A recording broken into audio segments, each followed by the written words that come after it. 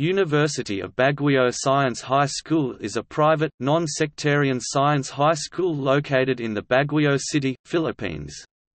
The school was the first private science high school in Asia.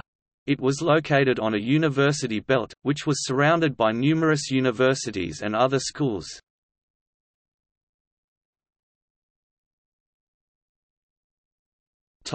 History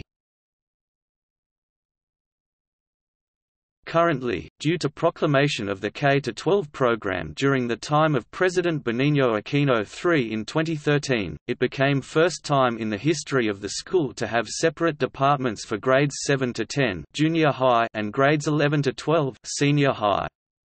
Batch Omnino Exego, class of 2016, was the first of all the batches to have completed senior high school.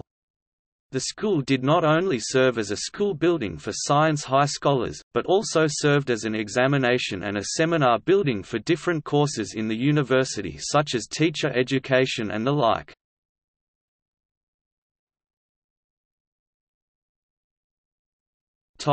Awards